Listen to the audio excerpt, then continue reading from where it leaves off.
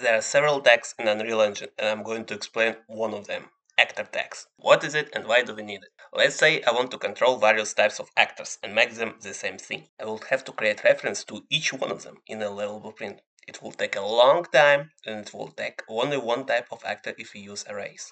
But actor tags come to the rescue. All we have to do is to pick an actor, add a tag, then open level blueprint and use these nodes. Actor tags help us to manipulate multiple different actors and make the same action we want them to do. But there's two things you need to remember when you create blueprint class for which you're going to add actor tag. Firstly, make sure that your actor's mobility is on movable, otherwise it won't move and you're going to get a lot of warnings. Just pick the main component of your actor and choose movable. Secondly, in most cases, our actors face the wrong direction. To fix that, make an arrow. Now you know which direction should face, rotate our actor, and that's it. You did. Thank you for attention and until the next chapter of Unreal Engine Encyclopedia.